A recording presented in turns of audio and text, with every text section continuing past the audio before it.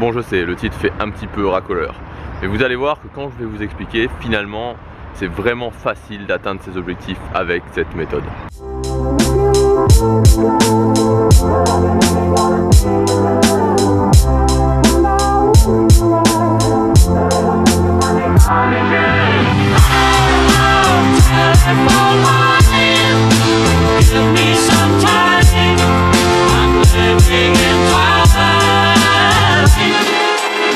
Vous êtes jamais demandé pourquoi il y a des gens qui, euh, qui arrivent à atteindre leurs objectifs, qui réussissent à atteindre leurs objectifs, alors que quand on regarde bien, on n'a pas l'impression que ce soit des personnes qui travaillent vraiment leur aspect amélioration de soi, ou que ce soit vraiment des personnes qui se forment, que ce soit des personnes qui bossent vraiment leur stratégie, qui réfléchissent au principe 80-20 et tout genre de choses.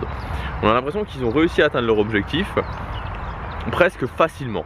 En fait, ils utilisent une méthode qui est vraiment extrêmement efficace et qui permet d'atteindre beaucoup plus facilement ses objectifs. À un moment donné, je voulais euh, me mettre à la musculation, j'essayais de me mettre à la musculation, j'y arrivais un petit moment et puis euh, je lâchais prise et euh, arrêté. je voulais aussi apprendre l'anglais. Pendant longtemps, j'ai eu cette envie d'apprendre l'anglais, mais je n'y arrivais pas. J'essayais, j'avais de la bonne volonté, je travaillais sur des stratégies, j'essayais de faire quelque chose qui soit efficace, je commençais à le faire, ça ne tenait pas, je n'arrivais pas à apprendre l'anglais.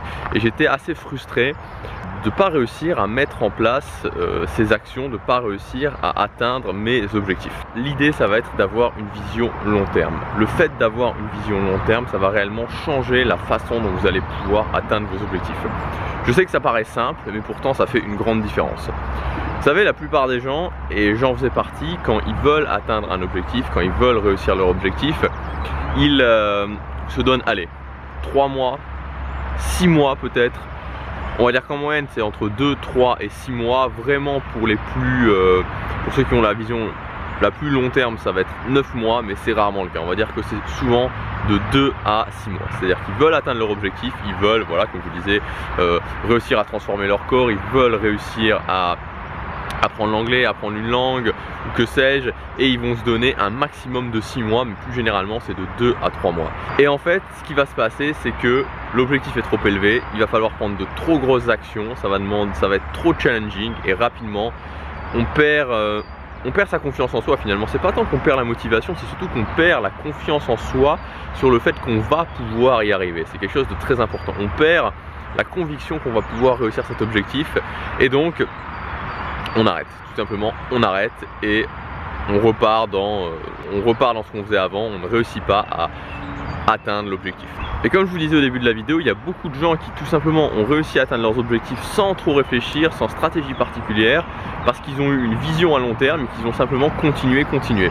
Si vous regardez sur YouTube, ou si vous regardez euh, sur les blogs, enfin sur le business sur internet en général, ou sur les chaînes YouTube, vous allez voir que il y a une énorme majorité des gens qui ne sont pas des gens qui avaient des stratégies spécialement élaborées, en tout cas au départ, qui n'ont pas travaillé extrêmement difficile au départ, qui n'ont pas travaillé 3, 4, 5, 6 heures par jour sur leur chaîne ou sur leur blog au départ, c'est simplement des gens qui l'ont fait sur le long terme.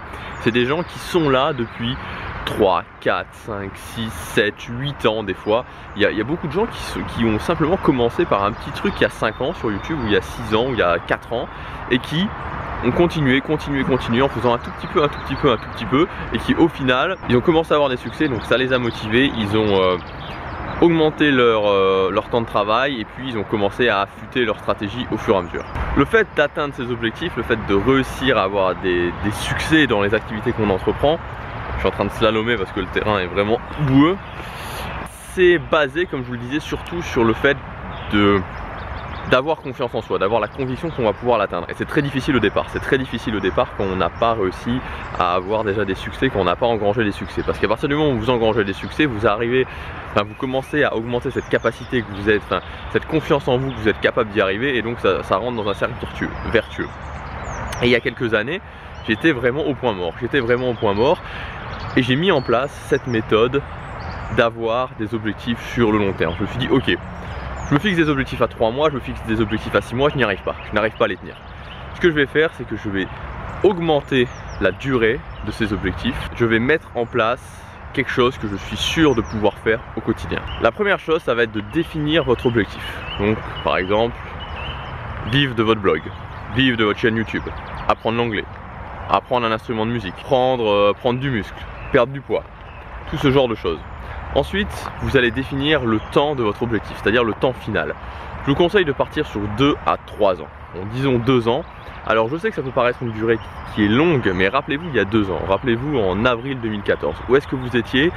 Est-ce que vous avez déjà des qu'il y a déjà des objectifs que vous vouliez atteindre et que vous n'avez toujours pas atteint en avril 2014 Le temps passe extrêmement vite et très honnêtement deux ans c'est très très rapidement passé. Donc euh, c'est tout à fait envisageable de se fixer des objectifs sur deux ans, même si sur le coup ça paraît un petit peu long. Une fois que vous avez défini le temps plus objectif, vous allez découper cet objectif en petites étapes, en petites étapes et en checkpoints qui sont atteignables en trois mois. Donc vous allez découper ça en étapes que vous pouvez atteindre tous les trois mois. Ensuite, vous allez définir un temps de travail quotidien.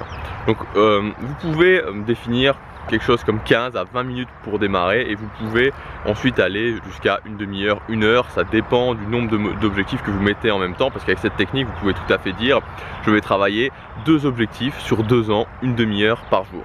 C'est tout à fait envisageable.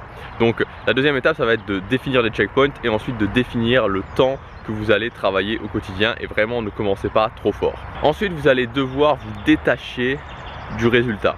C'est-à-dire que vous n'allez plus penser une fois que tout ça est défini, ni à votre objectif sur les deux ans, ni à votre étape intermédiaire. Tout ça, ça doit être fait en amont, tout ça, ça doit être fait au départ.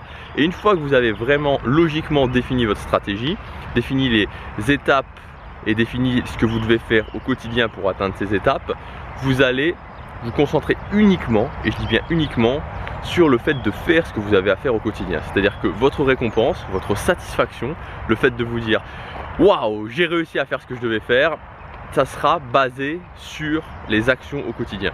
Si vous définissez par exemple de faire 30 minutes de vélo par jour et que tous les jours vous faites vos 30 minutes de vélo, vous devez être extrêmement satisfait de vous parce que vous avancez vers votre objectif. Et enfin, la toute dernière étape, ça sera de mettre euh, tout ça, de mettre ces actions quotidiennes sous forme d'habitude. Je vous encourage à mettre en place cette méthode si aujourd'hui vous avez l'impression de ne pas réussir à atteindre vos objectifs, si vous avez l'impression de manquer de motivation, de manquer d'autodiscipline, de pas de pas tenir dans la durée, c'est très efficace. Moi j'étais dans ce cas-là, très honnêtement j'étais dans ce cas-là.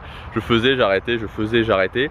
J'ai mis en place ça pour apprendre l'anglais, pour apprendre la guitare et pour me muscler, pour mettre en place, pour faire de la, de la musculation. Ça a très très bien fonctionné, ça m'a permis d'apprendre ces objectifs. Alors les objectifs évidemment c'était pas d'apprendre l'anglais, par exemple pour l'anglais c'était de pouvoir parler avec un anglais, de pouvoir parler, moi de parler, de lui de comprendre ce qu'il allait me dire, hein, parce qu'apprendre l'anglais c'est un objectif trop vague. Ça m'a j'ai pu atteindre les objectifs que j'avais définis et ça m'a donné confiance en moi, ça m'a donné la conviction que je pouvais aller plus loin, que je pouvais atteindre mes objectifs et ça m'a aussi formé en termes d'autodiscipline, c'est-à-dire que j'ai augmenté mon autodiscipline et ça m'a vraiment, vraiment, vraiment formé sur les habitudes et les habitudes c'est un outil qui est extrêmement puissant.